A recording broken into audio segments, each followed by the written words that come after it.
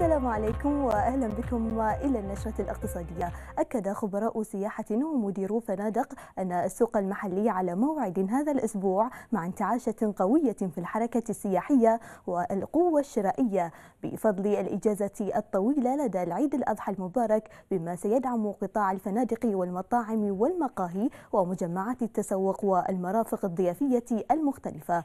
وتوقعوا في تصريحات خاصة لوكالة أنباء البحرين بنا أن يسجل القطاع الفندقي خلال أسبوع العيد معدلات إشغال وحجوزات تفوق 80% مع تدفق السياح الخليجيين والأجانب من مختلف دول مجلس التعاون الخليجي. كما أكدوا أن البحرين لا تزال الوجهة المفضلة لمواطني دول مجلس التعاون بفضل ما تملكه من تنوع في المرافق والفعاليات السياحية.